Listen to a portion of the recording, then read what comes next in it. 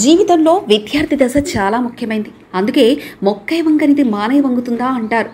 మన అలవాట్లు అక్కడే రూపుదిద్దుకుంటాయి. జీవితానికి మార్గనిర్దేశకం చేస్తాయి. విద్యార్థి దశలో నేర్చుకున్న వాటిని మనం అమలు చేస్తుంటాం. దీనికి చాణక్యుడు తన నీతి శాస్త్రంలో కొన్ని నియమ నిబంధనలు సూచించాడు.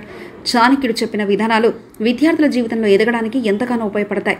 ఇప్పటికీ కూడా చాణక్యుడి రాజనీతి శాస్త్రాన్ని ప్రామాణికంగా తీసుకుంటున్నారంటే దాని ప్రాధాన్యత ఎంత ఉందో తెలుస్తుంది. జీవితంలో విద్యార్థి మంచి మార్గంలో నడవాలంటే ఉండాల్సిన లక్షణాలు కొన్నిటిని చాణక్యుడు బోధించారు. వాటి ప్రకారం నడుచుకుంటే విద్యార్థి తన మనుగడను సక్రమంగా సాగించేందుకు వీలవుతుంది. భవిష్యత్తు బాగా ముందుకు పోతుంది. అందుకే జీవితంలో మొట్టమొదటి లక్షణంగా క్రమశిక్షణ ఉండాలని సూచిస్తున్నాడు. విద్యార్థికి ఉండాల్సిన ప్రథమ లక్షణాల్లో క్రమశిక్షణే ముఖ్యమైంది.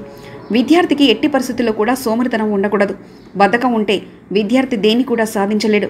సోమరితనం లేని విద్యార్థి ప్రతి పనిలో ముందుంటారు. విద్యార్థి జీవితంలో సోమరితనం దరిచేరకూడదు. విద్యార్థి సోమరితనం దరిచేరితే దేన్ని కూడా సాధించడం కష్టమే. అందుకే బద్ధకం వీడి తన పనులు తాను చూసుకునేందుకు ప్రయత్నించాలి. విద్యార్థికి ఉండకూడని మరో లక్షణం దురాశ. ఇది ఉంటే బతుకు అనర్థమే.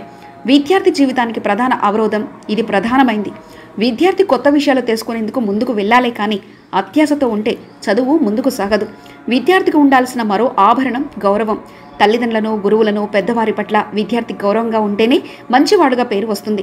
అంతేకాని ఇష్టారాజ్యంగా ప్రవర్తిస్తే చెడ్డ పేరు వస్తుంది.